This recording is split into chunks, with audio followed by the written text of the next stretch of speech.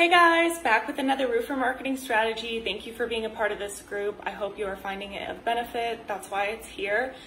Uh, the roofer marketing strategy today, I alluded to a little bit on my story, but I wanted to go more in depth of like what I was meaning.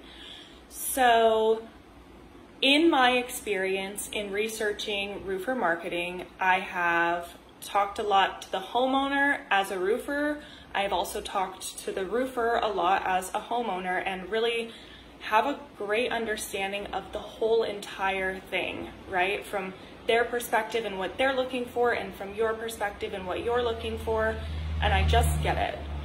So, in calling a ton of roofers, acting as a homeowner to really understand what that process is like, I'm telling you that a ton of you answer the phone in a same or similar way. That being, hey, yeah, we provide that service. Great, what's your address? First and last name.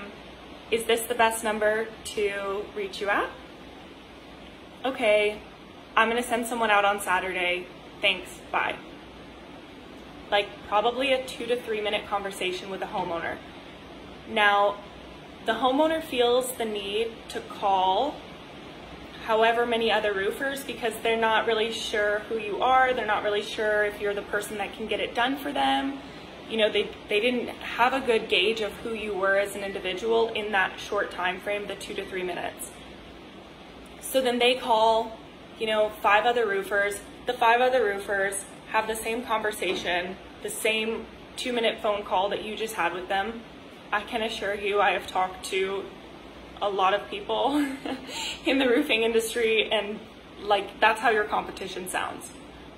A way for you to differentiate yourself from your competition in that initial phone call, and I know you guys are busy, but this can make all the difference for how much money you're making, how many jobs you're closing, like it is a big deal. If during that initial conversation, you're like, hey, How's your day going? What services were you looking at getting done? Oh, wonderful, we do provide that. Okay, yeah, why are you getting your roof done right now? Oh, that makes total sense. We've had a ton of hailstorms, yeah. Okay, wonderful. Well, you know, I've got a couple of professionals and I would love to send someone out there if you've got time this week. Okay, wonderful. Oh my gosh, that's the same neighborhood. We just did a roof in that neighborhood like the other day. That's crazy. Yeah, there. I know all the hail out there. I know. I know. that's crazy. Um, okay, yeah, let me just grab your address really quick. Perfect. And then you said your first name was Mary. Okay, Mary, and then what's your last name? Okay, perfect. And then is this the best number to call you on? Okay. Perfect. All right, Mary. Well, thank you so much for giving us a call. You know, we're we're happy to provide you with our service. We do a great job. Uh, we've got five stars all over Google and Yelp. Um, feel free to check out our company in the meantime, and I look forward to seeing you on Saturday. Okay, I hope you have the best day. Okay, take care. Thanks. Bye, Mary. Bye. And you're probably watching this thinking, oh my God, that was so cheesy. I'm telling you, none of your competition had that five minute conversation with Mary, and you know how much you're gonna stick out in the five roofers that she called, where everyone was like the first call I had, and you're the only one that really cared about anything about her. You guys are in a business of customer service. So like that's what the customer wants. And you might get customers that are like, yeah, I got to go really quick. But for the most part, like create that relationship in that initial call because now Mary's like, yeah, there's like four roofers coming out on on Saturday and Joe's coming out.